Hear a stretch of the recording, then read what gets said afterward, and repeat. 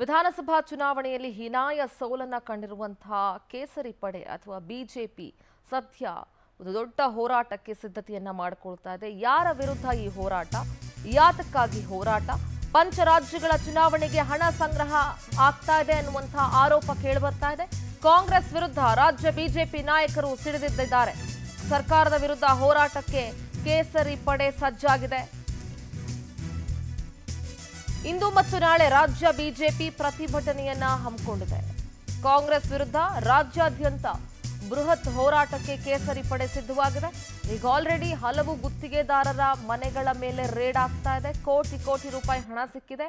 ಆ ಹಣ ಪಂಚರಾಜ್ಯ ಚುನಾವಣೆಗೆ ರಾಜ್ಯದಿಂದ ಹೋಗೋದಕ್ಕೆ ಸಿದ್ಧವಾಗಿರುವಂತಹ ಹಣ ಅಂತ ಆರೋಪಿಸಿ ಬಿಜೆಪಿ ಇಂದು ಮತ್ತು ನಾಳೆ ರಾಜ್ಯಾದ್ಯಂತ ದೊಡ್ಡ ಮಟ್ಟದ ಪ್ರತಿಭಟನೆಯನ್ನ ನಡೆಸೋದಕ್ಕೆ ಸಕಲ ರೀತಿಯಲ್ಲೂ ಕೂಡ ಸಿದ್ಧತೆಯನ್ನ ಮಾಡಿಕೊಳ್ತಾ ಇದೆ.